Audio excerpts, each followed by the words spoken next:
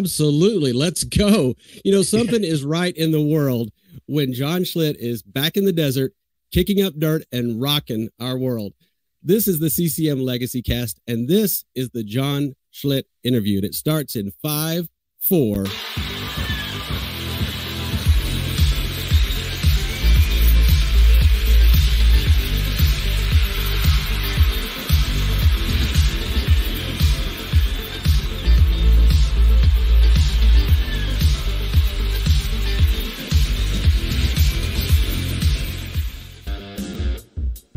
Again, my name is Chris Gaines, and this is the CCM Legacy Cast.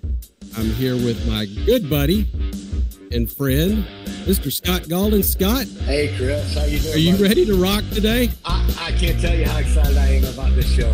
This, this is one for the record books right here. So Uh, get ready. I- It's gonna rock. gotta- I got to break down that music just a little bit. That was a little too much. But uh, yeah, you ready to go today? It's the day before Thanksgiving. Okay. Y- Yes. And so, what I need to know from you is if you have one plate, you can only make one trip through the line, which probably makes this a flawed question in the first place. What is the absolute best things that you're going to put on your plate in the Golden household? Barbecue beef brisket. Nothing else. Just a whole plate of meat. That would be fine. That would be a perfect Thanksgiving dinner for me. Why waste the calories on anything? well, that's the dead giveaway that you're right in the heart of Texas, that you're throwing down beef barbecue for Thanksgiving. But I, I can't really argue with that. That's that's pretty good. Well, tomorrow is Thanksgiving. Go ahead. What were we gonna say? But I was gonna say bir- birds, birds and stuff like that. You can have all that. I don't care. No, no, no, no reason to eat turkey. You're going beef. Beef Yeah. all the way. Yeah, all right. absolutely. Well, my father would uh, be proud. He would be. He would be. Well, tomorrow is Thanksgiving, but today is the John Schlitt interview. And it's hard to believe that John is 73 years young and still going strong. No signs of stopping. Yeah. No, no, I, I listened to the Go album this this morning, and it did not sound like the music of a man that's going to be carried over the finish line. It sounded like the music of a man that's going to go out of this world kicking the door in. So I I really like the rock and roll he was producing at this point. So Absolutely. Absolutely. With, Yeah. Well, with that in mind, and no further ado, I'd like to bring onto our stage the one and only John Schlitt. John, thank you so much for joining us today. Hi guys, boy, kind words. Now, now I'm in the mood. Thanks so much. ready to rock. Amen. Absolutely, absolutely. Well, there's been so much said and written about this man, so many interviews. His story has been well documented. Uh, we wanted to approach this interview with a fresh perspective, and and hopefully, the time we have, we can explore some of the stories behind all these milestones. Although we will never be able to cover everything in this initial interview, and we hope that maybe there'll be more to come as John continues his journey. We want to give him an opportunity to share really what's most important to him at this stage in life uh, the lessons he learned along the way, and, and really, most importantly, what he wants to leave behind when he's done. What you got going on right now? Well, we're just finished. We've got one more show this year for the anniversary this year. I guess so far. Uh, but we got uh, a show in Brazil on the second, and then the rest of the year I get to sort of relax a little bit. Although that's not true, we're going to go in the studio and actually go full force there. Uh, Just a lot going on, a lot going on. Praise God for it because God has a plan, and as long as He allows me to do it, I get to do what I love to do. You know, the old case of you never work a day in your life if you love what you do, and apparently. I haven't worked much my life because I've been loving what I'm doing. So it's our it's to our delight that you keep doing that. All right, so here's the here's the arc, as you will. We've got 1972 to 1980 is head east, and if you haven't done so in a while, go back and check out some of those tunes. There's some really really good stuff there. Then there's the Petra years. There's that 86 to 2006 roughly, and then mm-hmm. that comes back in the story here in a bit. But in between there, a lot happened. There's damage control. Want to know a little bit more about that? There's the Okay. Union of Sinners and Saints, which is fascinating to me with the the amazing Billy Smiley, who I want to hear from as well of Whiteheart. You got the Jay Sekulow band, which again, you had to have found that online. If you're just out searching for stuff, some of the covers you guys did and some of the stuff you did in the studio is off the charts phenomenal. So I want to know about that, what brought that on and and what what the plans are for that because I want more of that. You did the single, the fighting the fight in 2019 and then, you know, somewhere in that whole mix is is the pandemic which affected all of us. And so, you know, you had to kind of reinvent yourself and do some different things. You got the solo career, you got the Go album, and then there's the Petra reunion tour that had to surpass everybody's expectations, which may or may not ever end, which is phenomenal. So that's kind of the art, uh, and and probably most important foundation for all of this is your lovely wife Dorla, 71. You guys have been married this whole time, and you guys have four children and probably grandkids, all sorts of stuff going on in Franklin, Tennessee. So, how'd I do about the whole 30,000 foot view? Is that, you you did your homework. That was amazing. I, no, I it means know that. Wow. I'm I can- I can do a search engine pretty well. I can, I can handle the search engine. All right. I say, I'm thinking John's thinking, you know, there were some Dove Awards and some Grammys mixed in as Yeah, I well. think- you might want to I think we go- mention a few of those as well. I, Chris. hey, with with all he was talking about, I forgot about those. Come on. Yeah. uh, John, let's hit the Wayback Machine. Let's go back to when you were growing up. Tell us a little bit about what your life was like growing up. What, what, what were the things you were interested in? What were your things you were doing? And maybe a little bit about what your family life was like. Well, I had uh, fantastic parents. I have no excuses. Uh, they were loving parents. They tried very hard to give me everything they didn't have, uh, worked their tails off for uh, my brothers and I. And uh, uh, basically, what I'm doing is I'm building up a, let you know that my family situation was not bad at all. So any negative that happened in the future was by no means my family's fault came from a little bitty town, uh, about 1,700, including the dogs and cats. One of those places where your parents knew more about what you did than you did because of the word of mouth that every little old lady would tell, you know, that, that kind of stuff. Hated Sure. the town, wanted to leave as quick as I could. And then when I left, when I left, I missed it, you know. So one of those towns where every parent wants your kids to grow up in, but every kid doesn't want to be there. And then I went to University of Illinois. Okay. I started as an aeronautical astronomical engineer until the space program collapsed and I saw them pumping gas and delivering groceries. And I said, okay, I'm not going to go through this discipline. Gas. So I changed, changed to a civil engineer because Okay. it was more, more general and got a degree in that. And the day I took my last final exam, I came back in the band, which I had discovered between my freshman and sophomore year called Head East. Mm-hmm. Joined that band that summer, and it went from a little sock hop band to a major college bar band. I mean, almost instantly, and almost flunked out of school my sophomore year because of it. Uh, had to quit the band twice Okay. before before the end of each semester. And the second time I quit, I said, "God, I, I can't do it, guys. I promised my parents I would get a degree, and when I get a degree, then then I can go back with band." They said, "Oh well, by that time we'll be too big," and I said, "You're probably right," but apparently they weren't. And so the day I took my last final exam, my my senior year, I joined the band that year, that night. And uh, long story short, through a lot of different changes, we actually went back to the core of the band that I left uh, Okay. with one change, and that was the guitar player.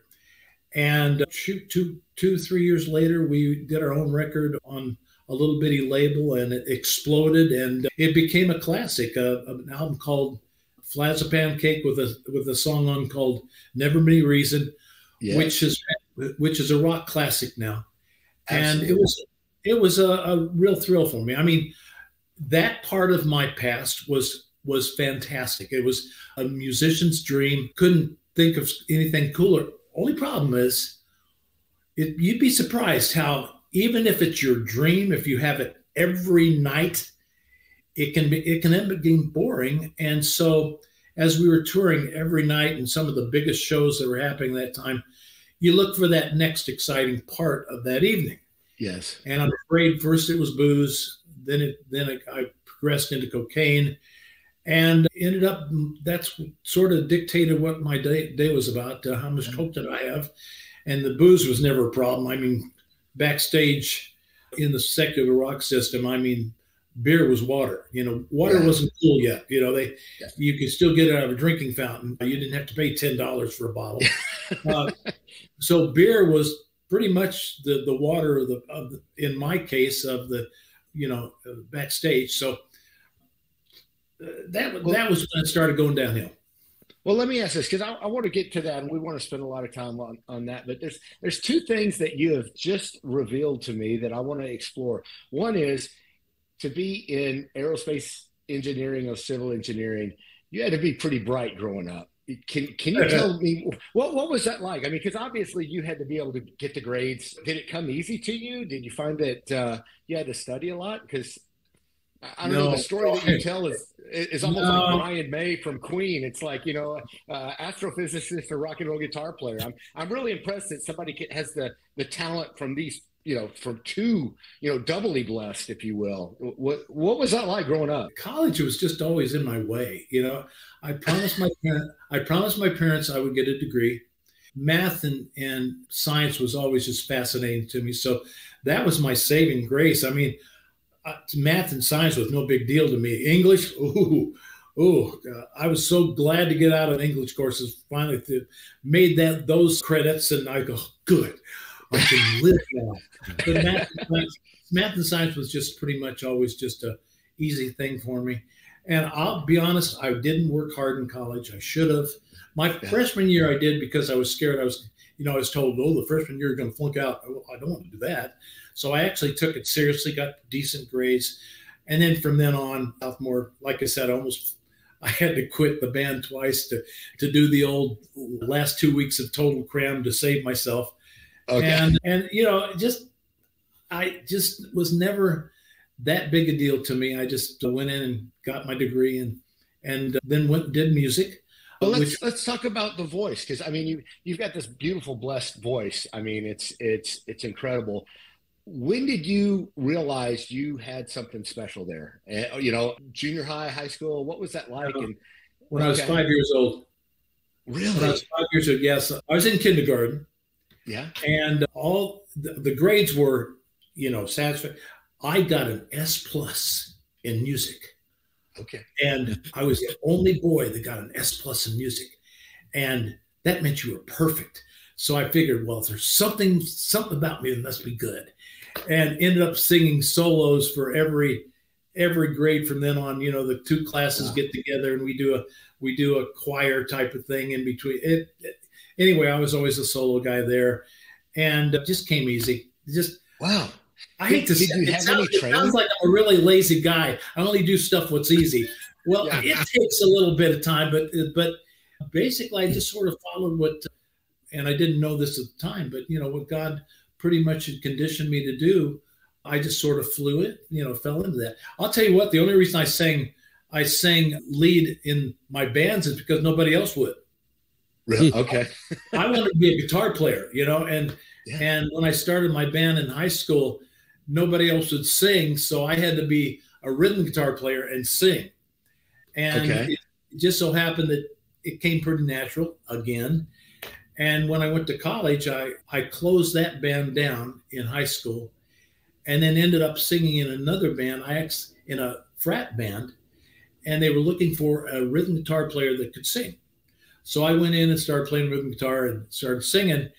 And they had a big meeting, came back and says, first of all, our lead singer plays better acoustic guitar or you know rhythm guitar than you do, but you sing better than our lead singer. So we're going to switch things around. You're going to be a lead singer. Don't play guitar because it's terrible. I said, okay, great, thanks a lot.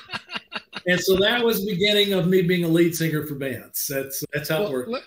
Let, me ask you one more like early life biographical question. Obviously, you met your wife at a very early age. She was Um, my sweetheart. Yeah. Yeah, t- tell tell a little bit about what was, that was like when you guys first met. What was what what is it that you found attractive about each other, and how did you guys get that instant? I got to believe it was instant attraction. So, well, tell us a little bit not. about that story. I mean, okay. Well, see, she's a year younger than me. Okay. And back then, in that little town, oh, you didn't fraternize, you know, fraternize with younger, they're kids. You know, you you only went with until you go to high school. Right. And then, then the guys realize, oh all the good looking girls of your class get swallowed up by the yeah. guys. so I'm thinking, okay, I, I started checking out all the girls who were coming and always thought that she was a cutie pie. I mean, always, but you know, she's younger than me. I don't fret. Well, now I learn, okay, you find the cutest young lady you can in the next grade and you go for it, John. And I did. And, it just so happened that she's also a really smart lady and all that important stuff that sort of came along with the with the beautiful package and i was just very blessed i was very blessed that uh, it worked out that way we went together for six years before we got married and all through high school and college and just uh, it was it was from god absolutely in fact in fact uh, just before the wedding uh, i had to sell my corvette and that was a that was a major oh, deal. Wait, oh, wait a minute. I need wait a minute. I need a minute. Uh, I need a minute here. just just stop right there, Chris. And I'm thinking, okay, now do I really want to sell this Corvette? And a little voice go, you know, a little that goes, maybe if I packed the suitcase, put it in the back of the vet, and just took off.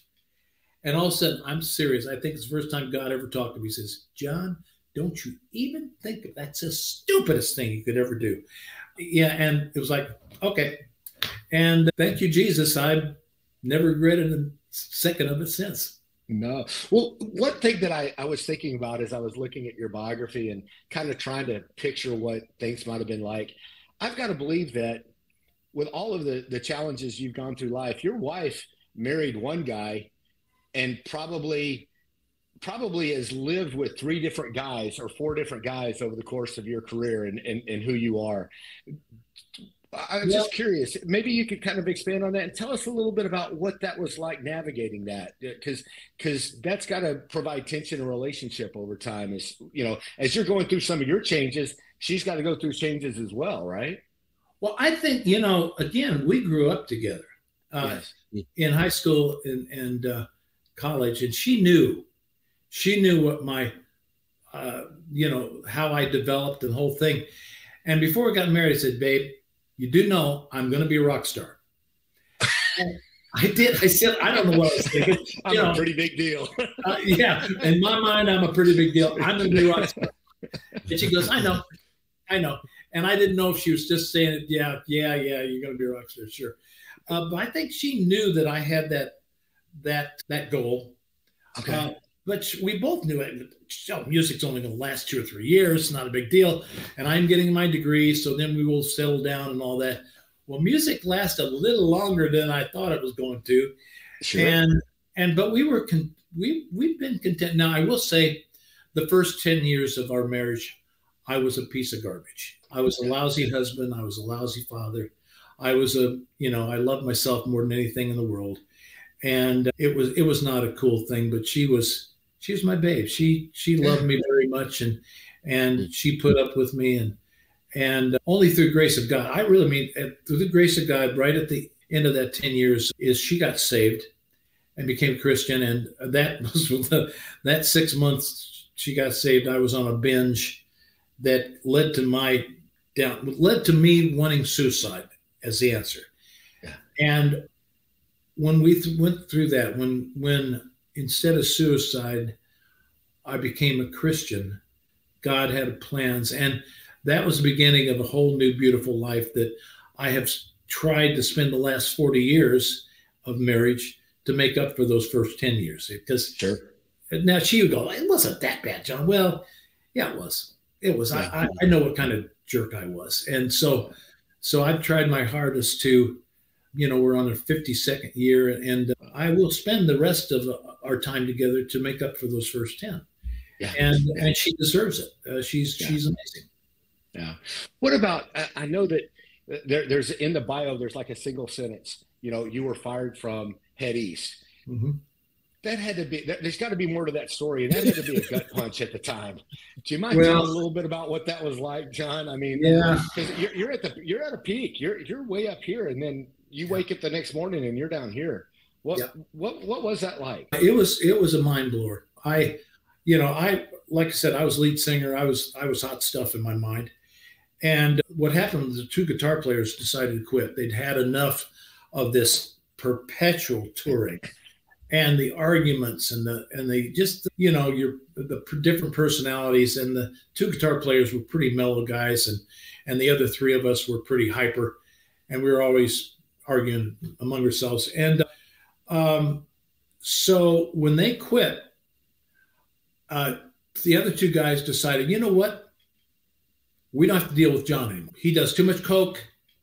He drinks too much. He's he's just I think we just need to get rid of him too.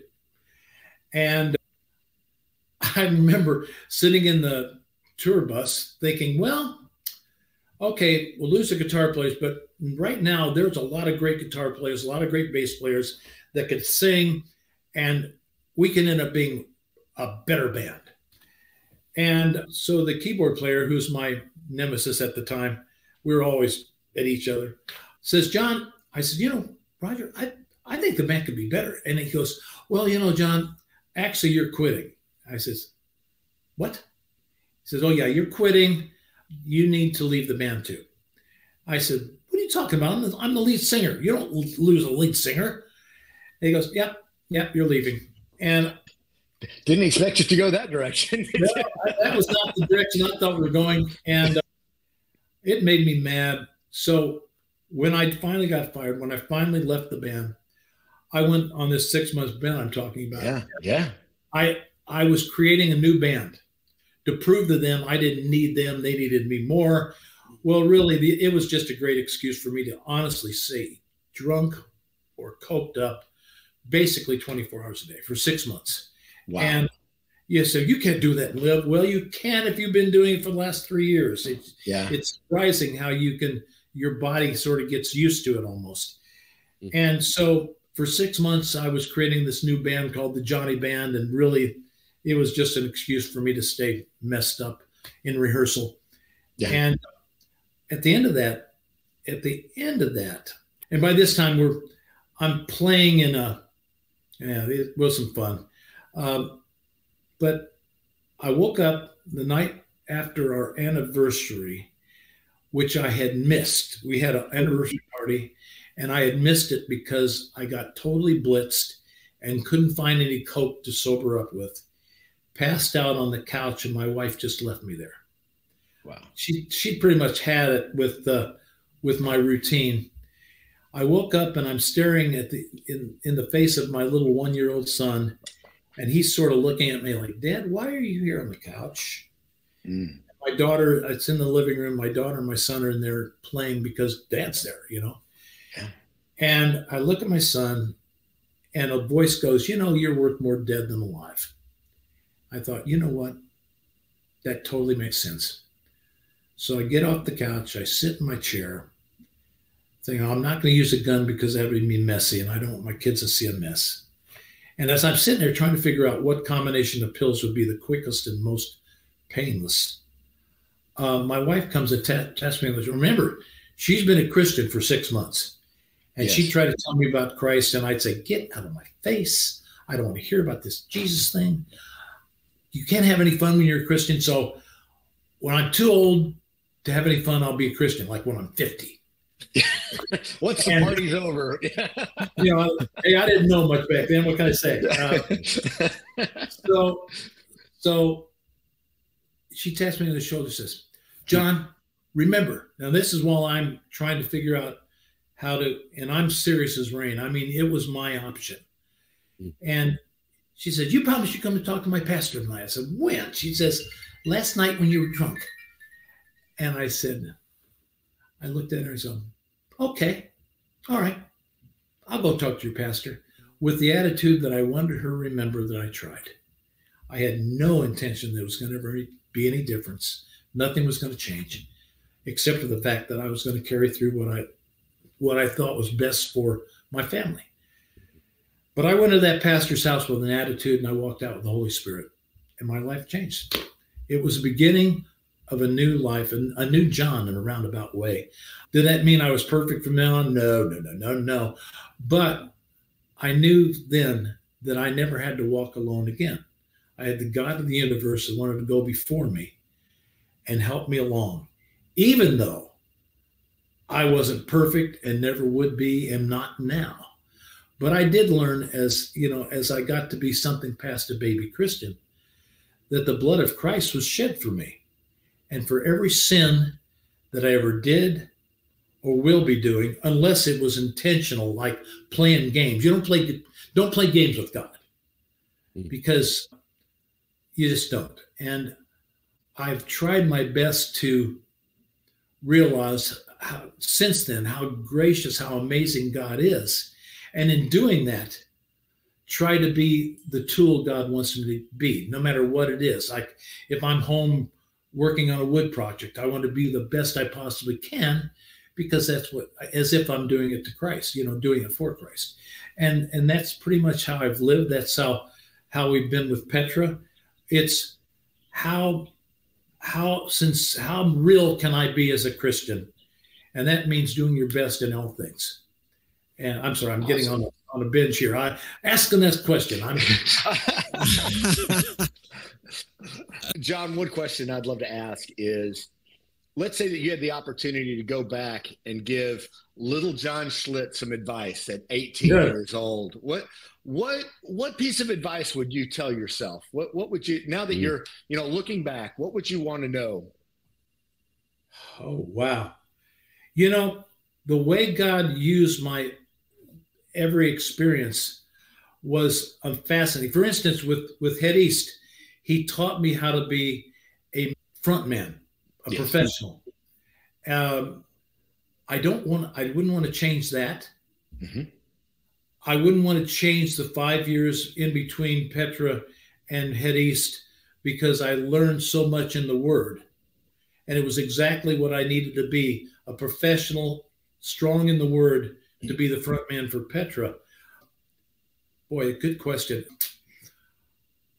I, I don't know. I, I, I would say. I, I, think you answered it, John. And, and the only reason I say that is for, for so many people, it's understanding that the, the difficult times in our lives are preparing us mm-hmm. for something better, right? Yes. I mean, yes. and, and if we take that, if we take that, that attitude in all things when we're going through those difficult times, realizing we're going to be a stronger, better person at the end of this that God can use to do so many more great things. Yeah. Uh, it, it, helps us to get through those difficult times that we're going through, doesn't it? Yeah, yeah. Hindsight's twenty twenty, and you you look back and watch how God works. It's amazing. Yes. You don't know what's going on at the time, and you're yes. thinking, "Oh, this this is not fair. What are you doing? What are you?" But then later on, as you see how it was all structured together, you go, "Oh boy, God." Yeah. Perfect cool. Yeah. Good job, God. I just you just yeah. so it's funny you asked that. I, I I honestly couldn't tell you. I don't know if I'd want to change anything. As hmm. much as I as much as I went through the hell of of the the drug abuse and that kind of stuff and the now I, I prefer not being such a garbage husband to my wife those 10 years but I like I said, I think we're we're doing okay, and and God has a plan. Absolutely. Cool. All right. Well, I'm ready now to transition uh, into the fun stuff that I've been looking forward to talking about, and that is the Petra years. Um, let me lay a little foundation and also start with a comment based on what you guys just got through talking about. Um, you need to know uh, that I'm coming from uh, uh that's right in my wheelhouse. When I was in, uh, I was probably late junior high when I had my first Petra album. And everything started really from there. I had a Petra album, I had an Amy Grant album, I had a second chapter of Acts, I had a Brush Arbor, and man, I was there and I was taking it all in. And so you got to understand, I'm geeking out over all of this. And then actually getting a chance to get involved a little in this whole movement and then getting to do one of John's shows and, and all the kind of stuff like that. So I'm having to fight the urge not to geek out over all of this stuff. But I want to tell you something and I mean this from my heart, for all the things that you are on a pedestal and a hero to me for, I think being married to your sweetheart for 50 years is what I'm most proud of you for. And as a husband at 36 years, I want to be going strong at 50. And I think no one could leave a better legacy than to. I know stuff happens. I know there are things out of our control, and I know God redeems and He has plans for us all. But I just commend men who make go the distance. And so kudos to you, my friend. And that's probably what I'm most happy and proud of you for, in addition to all the other stuff. So I give that gift to you at Thanksgiving. Well, thank you. You know, it really it has more to do with my wife than me. She's just she was exactly who I was supposed to be with, and she understands me. And oh, we don't. It's not like we're you know we don't have our arguments. In fact, we have our arguments all the time, and it makes life very exciting. But, but thank you. Okay, so I realized your journey with Petra began in '86, Back to the mm-hmm. Street album, but it Right. seemed like you really burst onto the scene, at least personally, with War, then On Fire, and then it just took off like a, a rocket ship with the release of Beyond Belief, one of the most requested videos that we ever had at our venue, and of course made us all want to be stranded in the desert and hope that John will come by and fix our flat tire and then get us back on the road. If you haven't seen that video, it's a classic. And then also there was Unseen Power. And that was the one that jump started everybody's fascination with wind turbines. Don't know about that. Another great video. but those were the, the things that we remember when John Schlitt hit the airwaves and rocked our world. What was that time like for you going from Head East, that, that kind of that period of what you just shared with us to, Mhm. I get a call from Bob Hartman at that point even was, you know, CCM royalty and to say, I really want to talk to you about playing lead for our, for our group. What was that whole rocket ship ride like? Well, I was a big Petra fan by that time. I mean, when Bob called me, I was already a Petra fan, only because I couldn't listen to music anymore. I couldn't listen to secular music because it just it brought up old feelings. I I really loved uh, you know singing rock and roll, but the only rock and roll I knew about was was the secular, and and that had too many things added to it, so I had to stay away from it. So I stopped listening to music altogether. Christian music was just wasn't my cup of tea. It just didn't do anything for me. So I actually just stopped listening to music hmm. altogether and decided that was what was going to be. You know, I, I music was now out of my life and never to be heard again until somebody handed me a Petra record. So you got to listen to this, sounds just like your old band, but Christian. I'm going, sure it does. Yeah. Man, no, I don't know about that. Hey, and believe it or not, it was it was uh, come join us, and that's not Yeah. like a extremely rock, you know, No, no. but but it had the structure of Mhm. rock. It had great Mhm. singers, great guitar players, good. I just it had the structure of what I was familiar with, and it was such a breath of fresh air. It's like, oh, I love this. So Mhm. I became Petra fan. And then I, you know, got the next records and all that. It's like, oh, this is cooking. My my thought was, well, I blew it. I, I there's no way God can use me on that because I was so filthy with Head East. So it just just no way. And and but I was glad that that Petra was out there and and I actually went to a Petra concert in Decatur, Illinois, and could only stay there for about half half the concert because it just I was so disappointed Mm. with the fact that I could never be part of that. Uh, but then all of a sudden, out of the blue, although I will say that God had be, been preparing me for this phone call, and that's a long story. But Mm. when Bob called, I thought of somebody playing a joke on me because by that time, everybody knew I was a big Petra fan. And I realized after a while, and no, this really is Bob Hartman. And, you know, basic, long story short, would you consider singing for Petra? I said, you got to be kidding me. Uh, Wow. I, I said, yeah, let's do it. And he goes, Yeah. don't you think you should pray about it? yeah. Yeah. You don't know how I roll, Bob. Yeah, okay, I'll pray about it. Yes, let's do it. No, Uh, yeah, that's what I meant to say. Yeah, yeah, yeah. What, yeah, Yeah. I, I really appreciate the fact that he was so real about it. And, uh, but I knew, I mean, God had been preparing me for this. So when the phone call came, it was like, that's what he was talking about. So I knew a long time before the guys in the band did, because the minute he Mhm. called me and asked me, he says, ah, this is it. So I had to wait for them to figure out it was what was supposed to go on. So, but it and meanwhile they're right in the middle of their their live tour the well actually the beat the system tour which turned into the live captured in time and space yeah yeah turned into Live, that yep. yeah and so they had to go through that before they could really announce you know me and part of the band so i had to be a real hush hush and at that time mm. i was a scheduling engineer for a for a mining construction company and i'm going I want to do this. I want to, I couldn't tell anybody, you know, I'm going, I know this is what I'm supposed to do, but this. So I'm sitting at a computer messing with numbers all day long, going, I want to be a singer again. I want to be a singer. But, mm, wow. But, but that was, that was a little bit of a weird time. But uh, when Bob so, called me and, and the reality hit, I said, God, that that's the 2020. That was a yeah. or the yeah. hindsight. Yes. And I and I all of a sudden going, seven years Head East, learn to be five years into the word. God, that is so cool. Because I knew that that's what Petra would need. That mm-hmm. kind mm-hmm. of a strong Christian with a skill factor that that competes with the secular world, not the Christian. Because Petra Absolutely. was never, we were never competing with the with our our Christian counterparts because our Christian family because we were all in it together. I always felt that I was competing with the my old friends that were in the secular world, mm. and that's that's how I always saw it. And it was it was exciting for me. I'll be honest. I I was never content with what Petra was doing at our peak because I always wanted to be bigger than the secular. And the secular mm. were doing 10,000 seats. We were only doing 7,000. And I'm right. going, dang, we're, we're, we're not get there yet, guys. And they're, they're looking at me going, what are you talking about? 7,000 people, come on. You know, and it just, I just, I didn't know how good we had it. You know, it just. Uh, did, did, that cause any friction? Did that cause any friction that you had this no, vision of that was much bigger, or were y'all able to no, no. coexist? They knew, okay. they knew why. They knew where it was coming from. Okay. Yeah. No, okay. they, they knew why I wanted to sell. I wanted the best for Christ, and they knew it. I mean, I was. It wasn't like good. I wasn't content.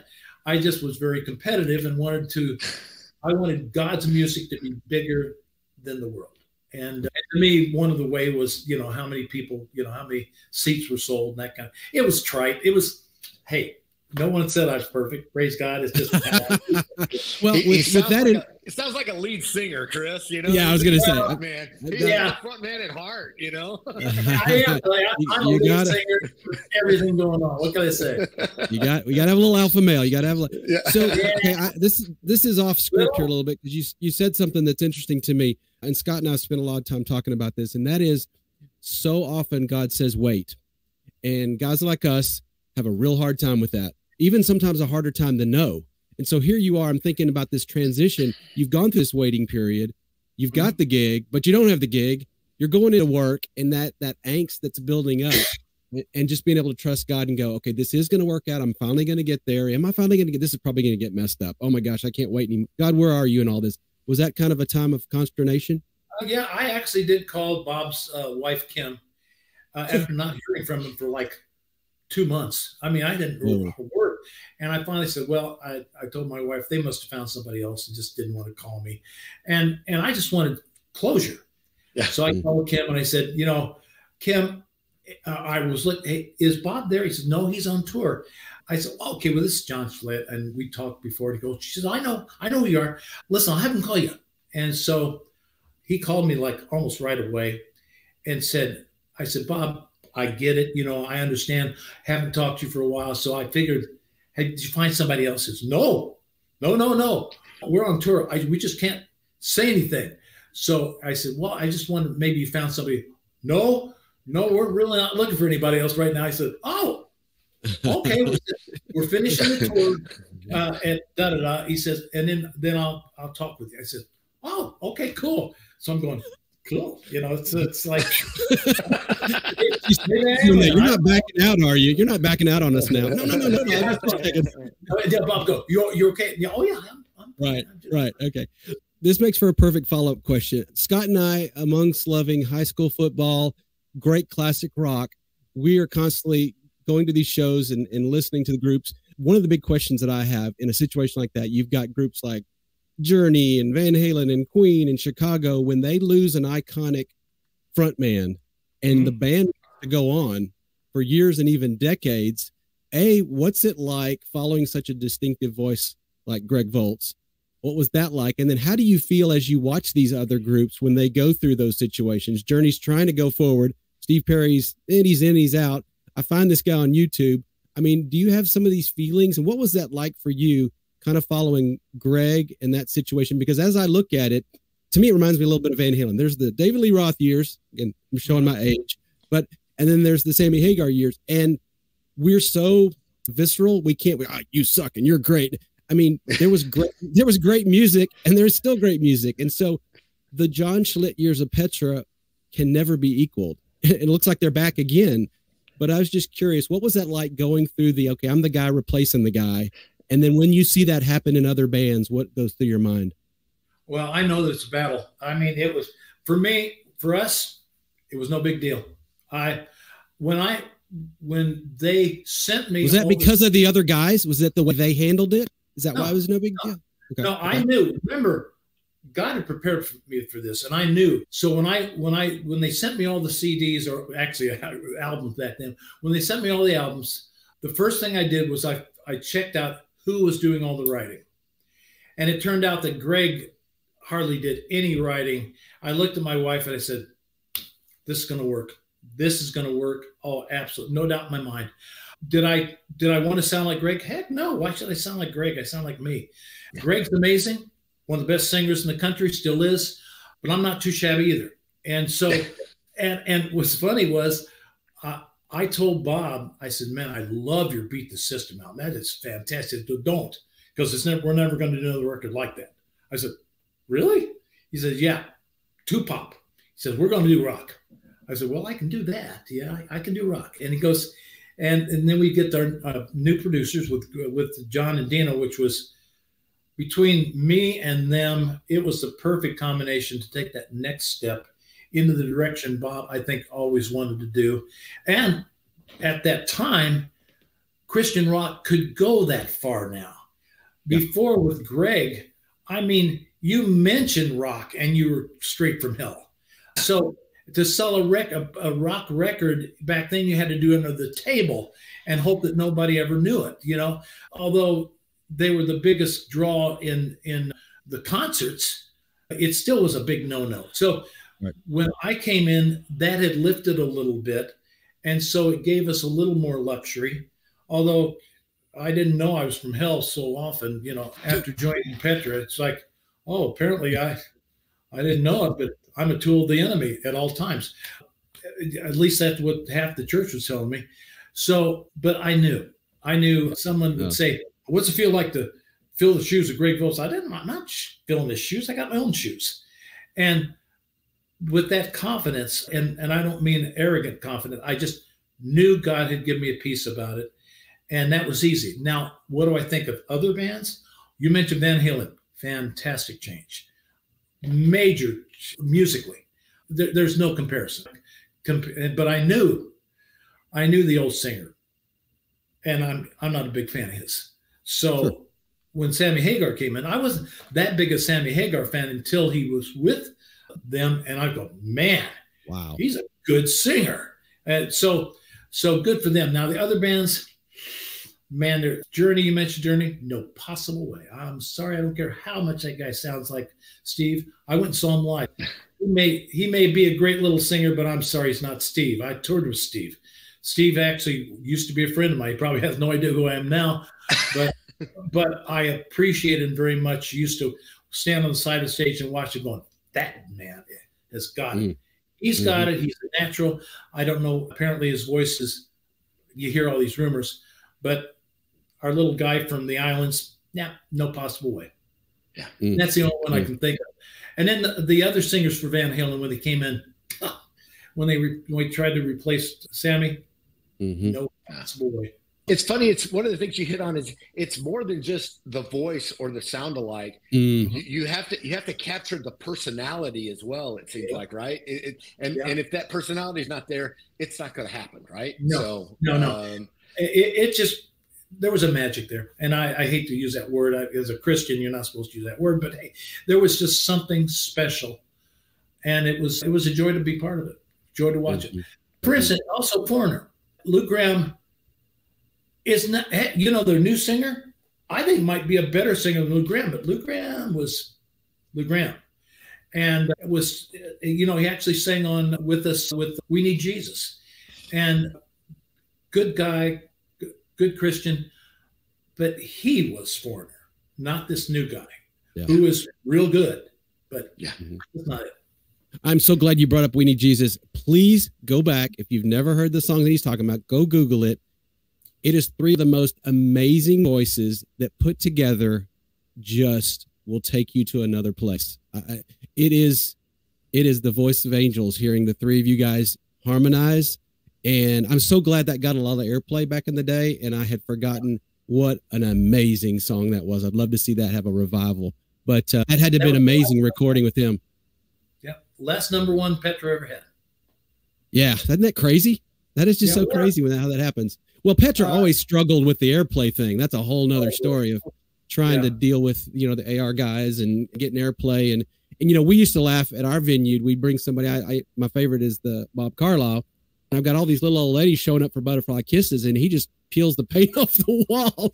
You know, singing like Sammy Hagar. And so that was one of the big struggles that bands like Petra had was, you know, we're only going to play the coloring song. And, you know, there's this massive army showing up, you know, with flaming swords and John's out there leading the charge, you know, and the radio stations are going, can you turn it down just a little bit, please?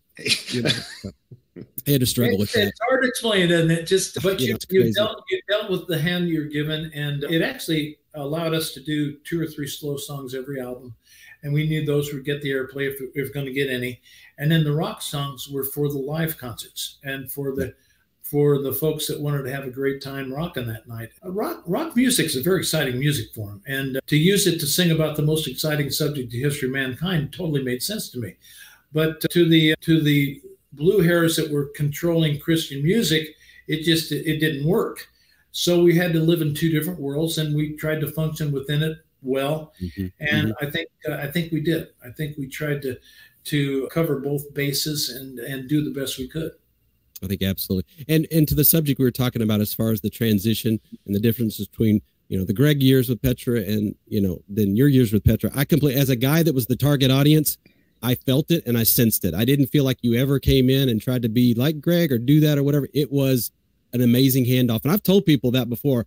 I you know they talked to me at the, the Van Halen thing. I'm like, you know, there's another thing over here in Petra, and they did it well. It's hard to do it well, but I I'd like to think it's a lot about the people involved, but it's also about knowing who you are and what you want to be. And so I think there's a lot of that transition. So it's interesting that you tell the story about asking who wrote, you know, the songs and what role what role that person played. So we could talk a lot about that. That's some great stuff. So this is a question I've been wanting to ask you with all the experiences you had with Petra, all the places you went, all the shows you did, something had to have stood out. What if I were to ask you when you look back on those Petra years and all that you got to do and all you all the places you got to go, what one or two things just stood out in your mind? You'll say that's an experience that I had no idea God was going to take me to. And I'll remember it may be something huge or it may be something really small. But what stands out to you most from Oh, those man. Petra years? There's so many. Okay, I'll tell you. I'll give you two. Okay. The first one was with Josh McDowell. We were playing in California, I think at a college, and this this venue was a little different. It was strange to me because it had very very wide aisles. The whole building was just very wide aisles, and I thought, well, this is that's a strange. Uh, structure, but it works. You know, there's certainly not going to be any any plug up when people coming up and down the, the aisles. So with Josh, we would work as a team, Petra and Josh together, and Josh would give the altar call. And we were back behind him, which we always did with Petra. And it was so moving, or the spirit was so strong there that when we asked for people to come forward, those aisles were packed full. All the aisles, as wide as they were, were packed full, trying to come forward. And and I remember Josh look turning around, going, "Oh my gosh!" And I just I remember that. That was like that was the mm-hmm. epitome of what it was all about. And we had to stop the concert because there, the place we had for people to go forward, there's no way it could. It was it was gigantic. So Mhm.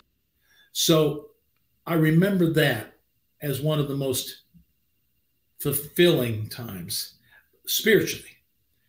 Mhm. But then on our on our farewell tour, we were in Argentina, and we were we were going hand in hand with one of the biggest evangelists in South America, and he he drew large crowds anyway, but he said we want we want to break records. We want Petra to be with us.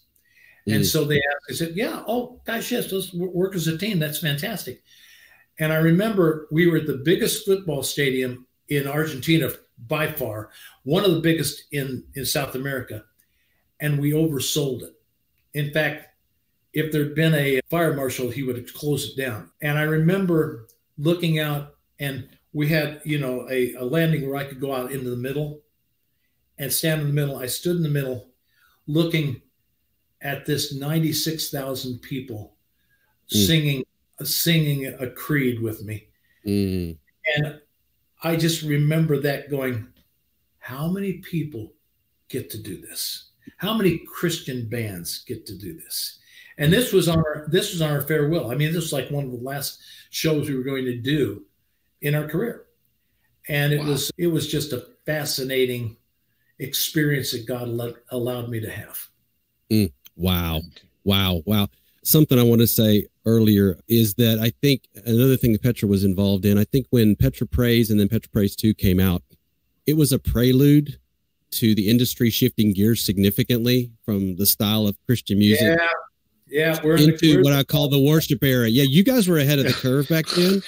we're the whole thing. Don't get don't get Scott started. Scott Don't get me started. Scott will get up on on yeah, don't get Scott praise started on that. versus Yeah. rock and roll. I got a real problem with it.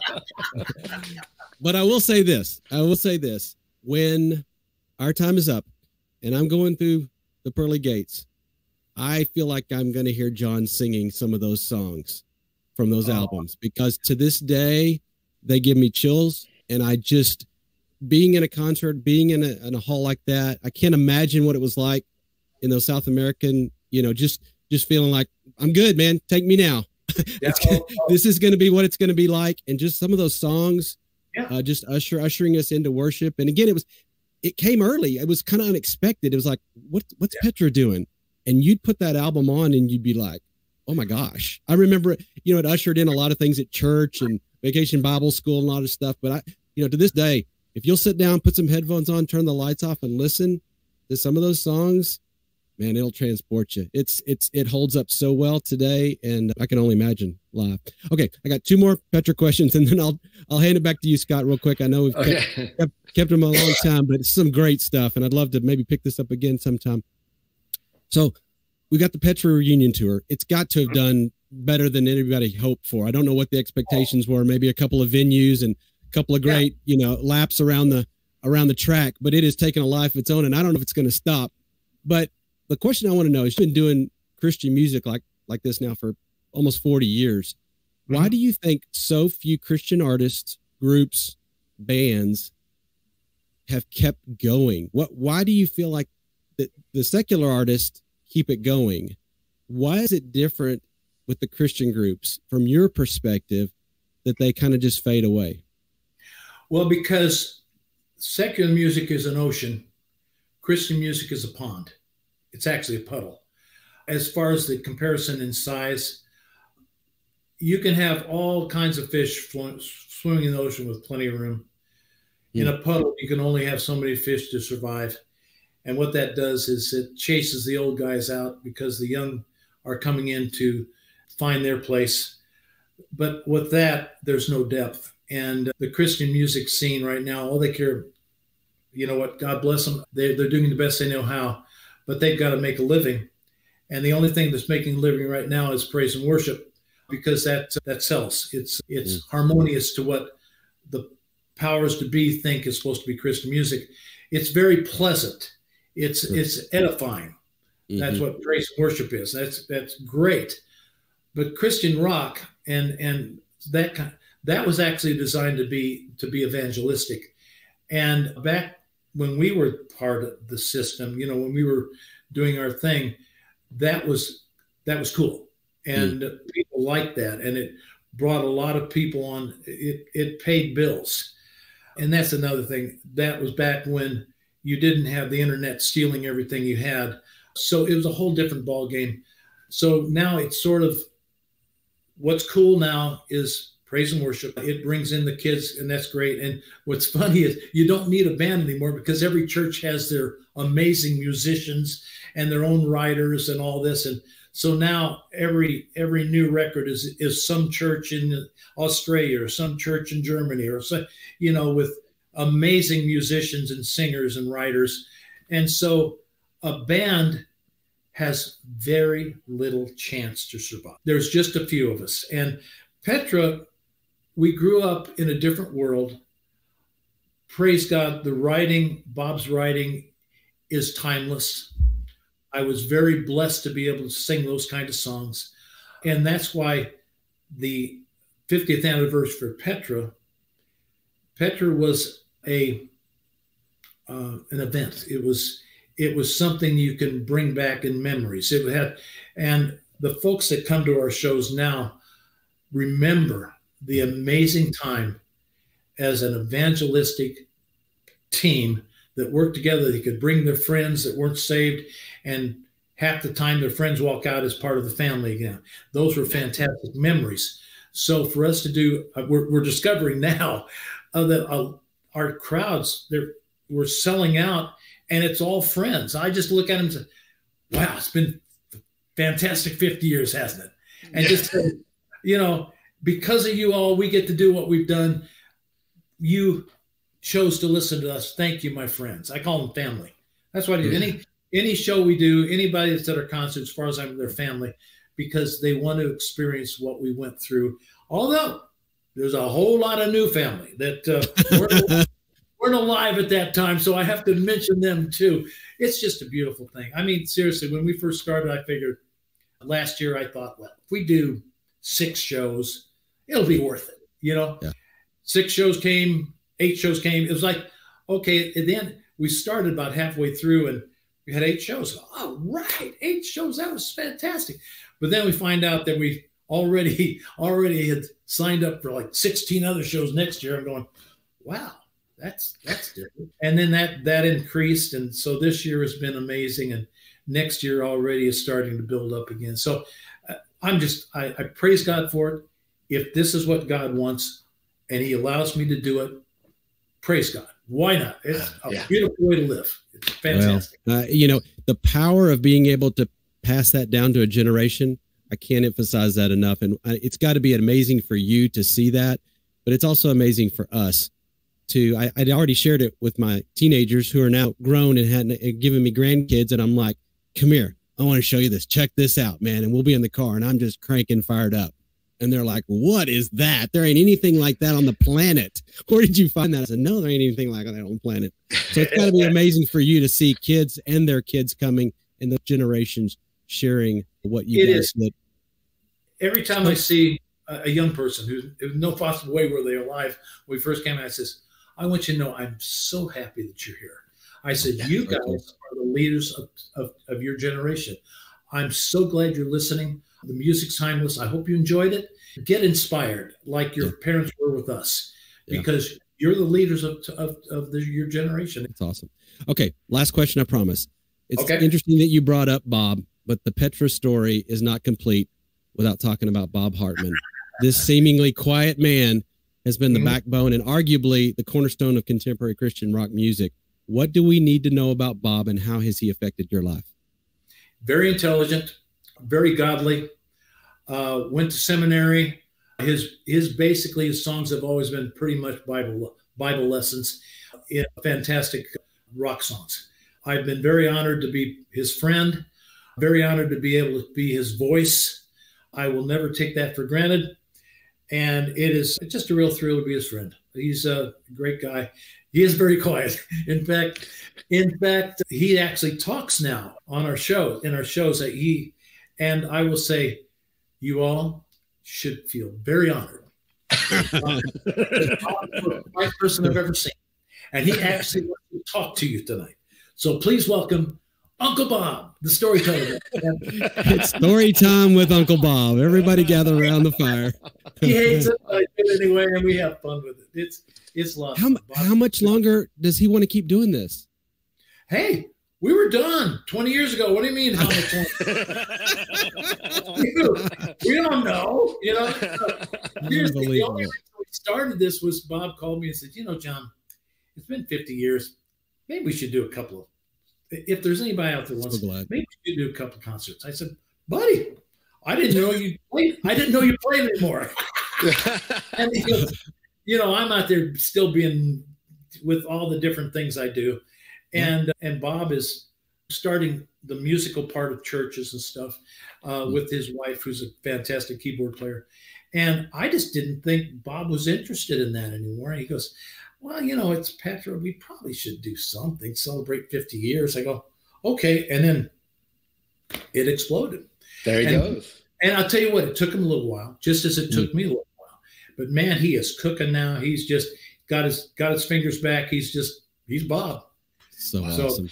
It's a, it, if you get a chance to see him, you should. If nothing else, you should check out Petra because of Bob, John Lawry, Greg Bailey is who's our bass player now, and Christian Barnio, who's our yeah. drummer from Argentina. Those four guys are some of the best musicians in the world, and wow. just to watch them mm. is just a thrill. It's just just fun. Mm. But John, let me ask because we're we're getting to the end of our our interview, and this has been I can't tell you how much fun it's been for me, and I, I know Chris has had a great time, and hopefully you've enjoyed it as well. I love it, guys what one of the things that we we want to focus on just as we kind of close things out is what is it that you want your legacy to be? As, as you're beginning to wind down what's going to be your life hopefully you get a chance to look back and go this is what i want to be known for. What so what what would you want to be known for to your family and friends? Uh, that i'm honest uh, that uh, that i've made it clear that i'm not perfect. I blow it every day only by the blood of Jesus Christ can I can I really call myself a Christian. That I I so much appreciate the fact that God chose to allow me to do what I do, uh, despite the fact that I don't deserve it, never have. I don't know why God has allowed me to be who I am, done what I do. And I, I just want everyone to understand that I appreciate it more than words can ever say. I, I hope I hope that people will realize that the God we that Petra has been singing about that I've been able to be lead singer for is for real, and that that we have made a difference in the reality of Christ to man. You know, and that's Christians and non-Christians. I want Christians to realize that their God is for real and he has a plan for them. And don't let the world try to chase that out of their hearts. And for the world that has not had a chance to experience Christ yet, why not? Oh my gosh, you got a God of the universe has a perfect plan for you. Why are you trying to do this on your own when you've got a God who wants to go before you and allow you to reach that perfect plan he had for you before the beginning of time? I hope that is a legacy that people can read from me. Absolutely. I would say one other legacy is somehow God created a front man that has a humble servant's heart, and that is a miracle in this world, John. I, I, I, see, I see both in you. Okay, I really do. I see, I see this rock and roll lead singer, and I see this humble servant of God. It's yeah, a wonderful it, mixture. It's it, a that's not, that's not supposed to work, is it? No, no. arrogant jerks. Okay, okay. I can do that. Wow. What, wow. What's what's next for you, John? Just final, final thoughts. Where, where, where's where's well, the next couple of years? What are you trying to accomplish? Okay, right now I've got several irons in the fire that are all important to me. The Union Center Saints with Billy Smiley, the J J Sekulow Band, which is very important to me. Of course, uh, my solo record, Go. I want to tour it, but I don't have any time. Uh, uh, Go actually is my is the oldest new record I've ever had. Thank you, COVID.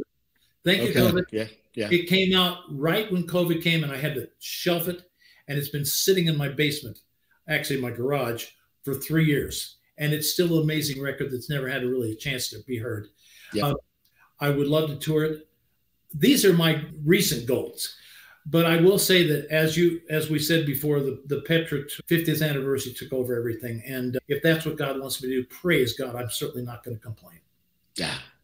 Well, we'll we'll make a mark on the calendar next time you're somewhere close, or anybody that's listening. Go get tickets, guys. It's a great uh, a great ticket. It's a hot show. You'll have a, a good time listening to it. So if people get a hold of you, the best way to do that is through the website, probably. Yeah. Yeah. Actually, uh, johnwschlitt.com, uh, .org, johnschlitt.com. I think we've own, we own every John Schlitt thing we can get now. good, good, because Garth Brooks took all mine, and that's a whole nother story. But that's, For a while, man, I didn't have. I had to go buy them all. So it's like, right, thanks, right, guys. right, right. So it looks like on the website that you actually can hear some of that music. You actually put some of that up Yeah. there. Is it? We can I listen think, to it? I it. think I put it all on because I didn't want anyone. If if you want to hear the record and you like it, I the whole song, each one of them. That's Just awesome. listen. And if you feel that that should be part of the, your repertoire, please, please join. Just come in. Uh, you can get it through all the other things, but I Okay. wouldn't mind you Yeah, cool. Hey, real, real quick. G- give me just a, a, a paragraph on this. Is phenomenal to me. Tell me what the the thought process was. This house concert concept, and have you done some of them? How's that been going?